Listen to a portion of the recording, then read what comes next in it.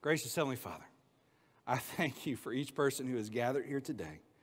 Father, I just pray that your spirit would meet us in this space, meet those who are watching online. God, give me the words to speak and open up the ears and the hearts of those who need to hear it today. Lord, we pray this in your Son's precious and holy name. And all God's people said, Amen. Well, after two years of trying to avoid it like Neo in the Matrix avoiding bullets, uh, trying to avoid getting COVID, COVID finally hit my house in the last two weeks. And uh, that meant I got to spend a lot of time at home. Now, everybody's back to being healthy. I never got it, but because I never got it and was exposed, I'm having to go back to one of these for a few more days per our staff policy. Let me tell you, after you haven't worn a mask in a while, putting it back on is hard. Um, so I got to spend uh, some extra time at home, and Ava, my six year old, loved that daddy was home. She wanted daddy daughter time. Lots and lots of daddy daughter time for a little girl who gets bored very quickly. And so uh, last weekend, Daddy, let's do something together. I don't know what to do. What do you want to do? I don't know. Okay, let's Google it. So I Googled things to do in the house. And I pulled up an article and I started listing things that we could do together. Oh, do you want to do this? No, I don't want to do that. Oh, do you want to do this? No, we've already done that. I skipped a few that it was not on the table for me at all. Um, and then I got to one, it said bake cookies. And she said, Yeah, Daddy, let's do that. Friends, I haven't baked and I cannot tell you when. But I said, Okay, let's go do that. So I Googled a recipe for sugar cookies. I'm thinking, these, these are simple, right? I love sugar cookies. They can't be that hard to make. um, so I get this recipe and I go into the kitchen and I start pulling out the ingredients. I grab the sugar, grab the flour, grab the baking soda, the baking powder, the vanilla extract, the, the egg, and the butter. And I didn't really read the directions all that closely and I just threw it all in the bowl and we started mixing it together. There's apparently a process to this and I skipped it. Um, so we're, we're mixing this together. Ava's helping me, and it comes time to put the, the cookie dough into on, on, the, on the pan. And it's just really mushy. Like I'm taking globs of mush and putting it onto the cookie sheet. It should have told me something. Uh, so I, I, we put it in the oven and I turned the light on so we could watch it. And by this point, Amy has woken up from a nap. And so I go into the room and I was like, so, as far as the ingredients, the two unmarked plastic containers that were in the uh, pantry, one was sugar and one was flour, right? She said, No, one was sugar and one was powdered sugar. And I went, Oh no. While I didn't read all of the directions, I did make sure to put the appropriate amounts of things into, into the, the cookie dough. And so I put one cup of sugar and two and a half cups of what I thought was flour, but was powdered sugar. Hence why it was nothing but mush. So I ran into the kitchen and pulled this hot tray out that was just all liquid. It was just a big puddle of liquid in the oven. So I put it up on top of the stove and I get the, the flour. I found, oh, we have actual thing that says flour. And it says self-rising flour. Thought that was redundant. Apparently not. I'll get to that in a moment. So I take two and a half cups and I just throw it on top of the cookie pan. And the last service said that too. Apparently, I really don't know how to bake. so I start just mushing it with my hands into the flour in this mush, and it, it, it actually starts turning into cookie dough the way I, you would think it's supposed to look like. And so I, I pushed it together, and I don't know what you call them, but look like patties, and I gave each, each cookie some space to grow. Give a little, little space on the cookie sheet. Put it back in the oven. Did I say it was self rising flour? Yeah, I don't know what kind of super flour my wife had bought. The cookies that I made were about this big. It was like something out of a sitcom. I'm watching it through the window of the oven, and they keep getting bigger and bigger and puffier. And before I know it, the whole pan is one big cookie with little blobs everywhere. And I, I, I, took a toothpick to see if it was done, and I poked one in the center and went poof and settled back down because the inside, all of that powdered sugar just wasn't congealing. It, was, it wasn't getting firm. And so I ended up having to leave it in the oven for three times the length that the recipe called for Finally, I just called it. I said, It's going to be what it is. I pulled it out, put it on top. Ava looked at me, six years old, goes, I don't know if that's edible.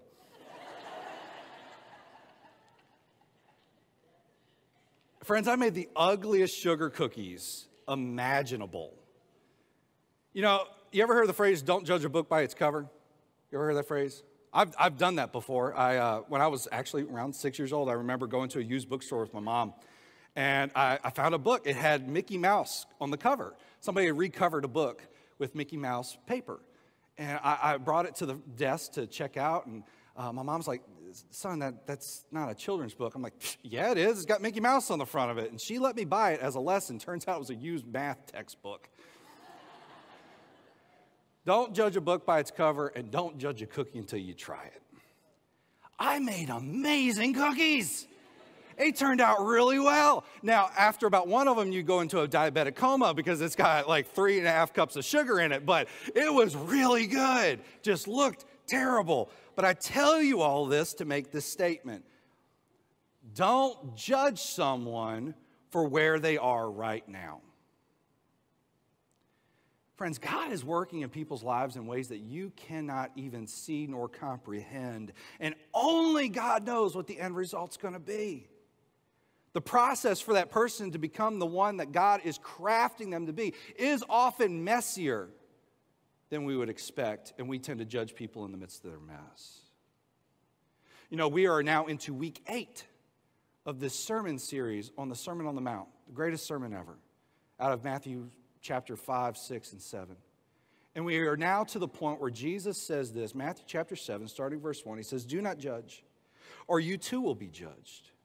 For in the same way you judge others, you will be judged. And with the measure you use, it will be measured to you.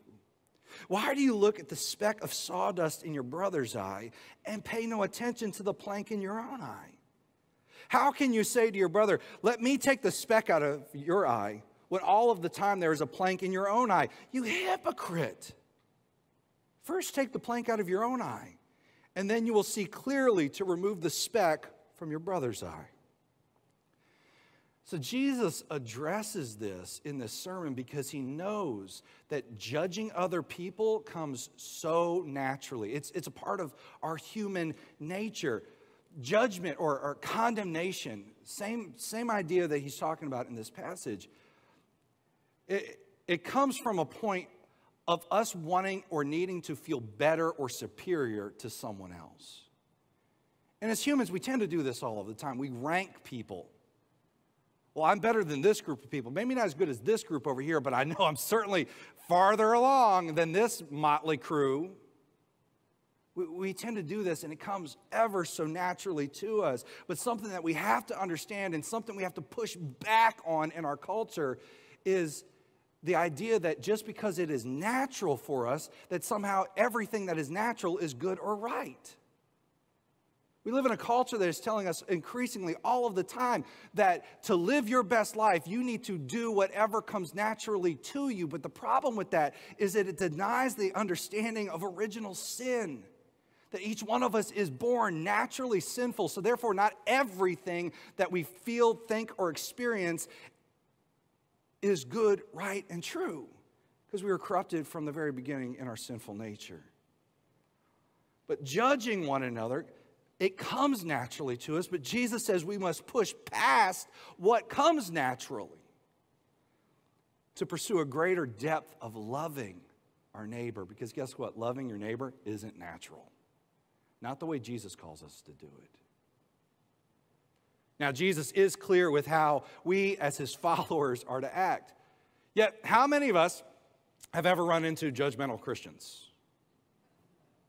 Yeah, I won't ask for show of hands, but how many of us have ever been judgmental Christians? Yeah. But it ought not be that way, right?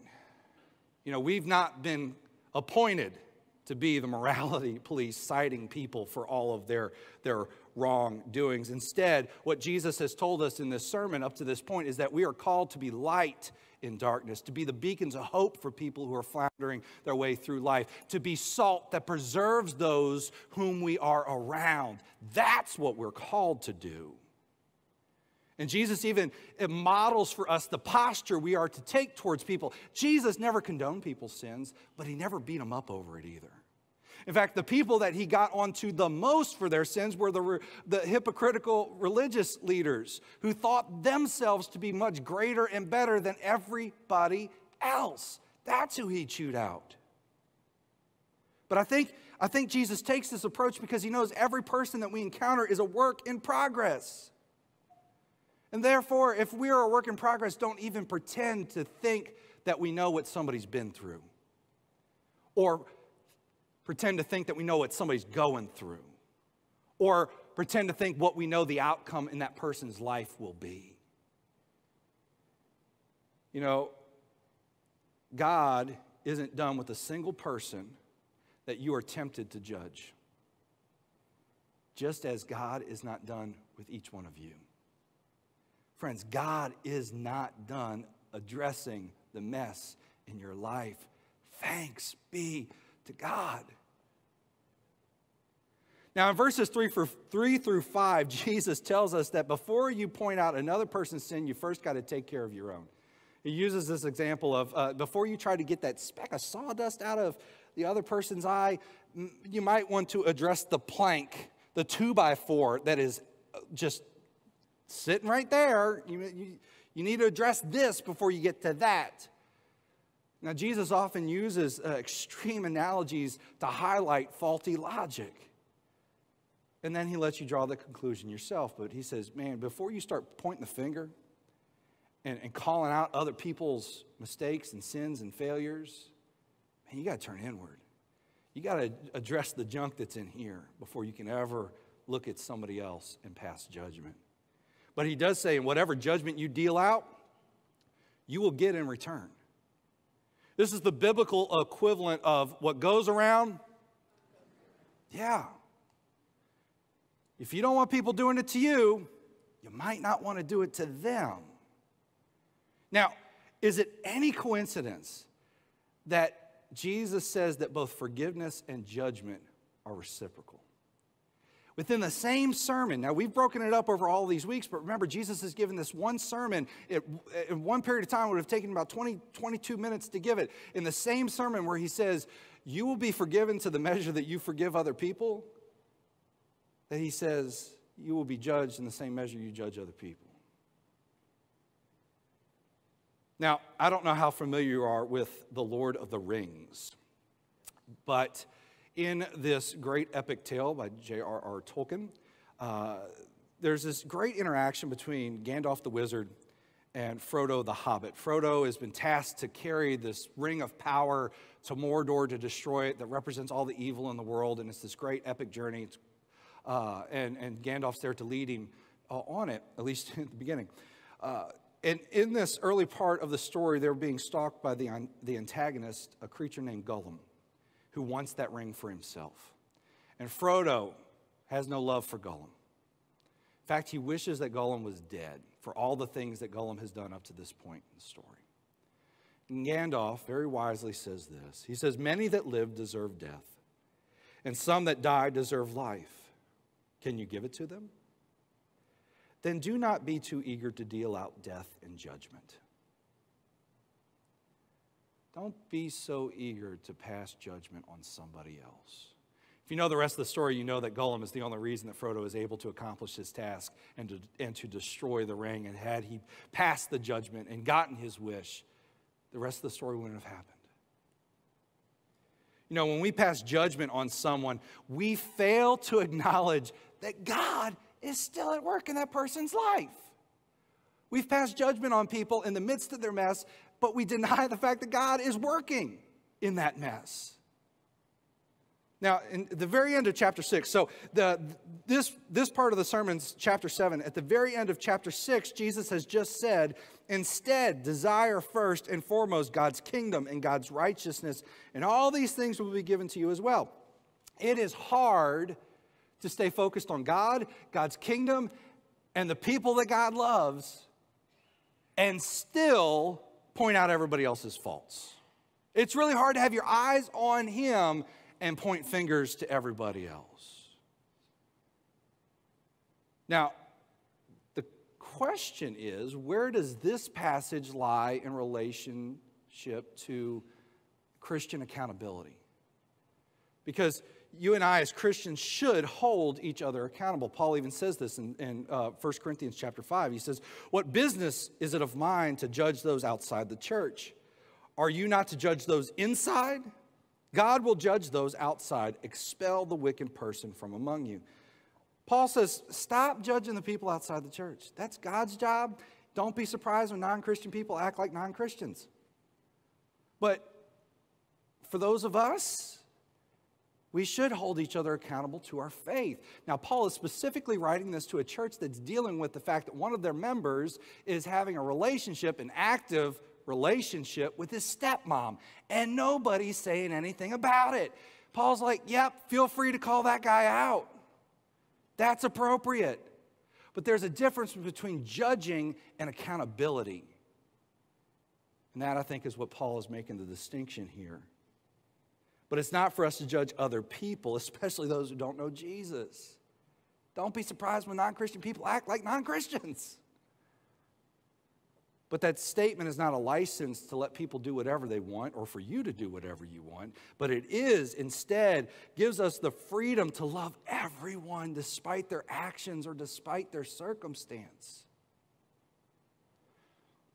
Now, I believe people are accountable for their actions.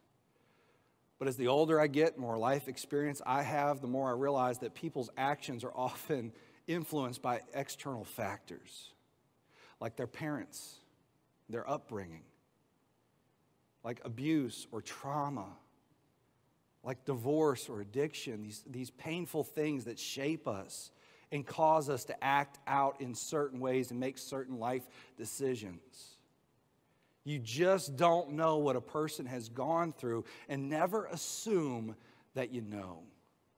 And that's what judgment does it assumes knowledge that you don't necessarily have. So, in Tyler, in our last house, there was, and forgive me if I've told you this story before, but it's applicable. There was a, a family that moved into uh, the house next door uh, husband, wife, and daughter. The husband was a traveling doctor, and, he would be gone for extended periods of time. And the wife, she, she spoke broken English. I uh, don't know where exactly she was from, but she was from outside of the country. Well, they, they always kind of kept to themselves anyway. Um, over the course of the few years that we were, uh, we were neighbors, uh, we'd wave and say hi and those things. But uh, eventually we realized that we hadn't seen the husband in a while. Okay, he's been gone for a bit, all right? And then we noticed we hadn't really seen her much. We know the car kept leaving and coming back, but she was hard to get a hold of. There was an instance where her dog got out, big dog, scary dog. Uh, and we went and, and rang the doorbell, and she had one of the ring cameras, so we knew she could see us, and we could see her in the house. She, hi, like, come get your dog. Uh, and she wouldn't come and answer the door. I'm like, man, I already thought these people were, were a little off. This is just weird.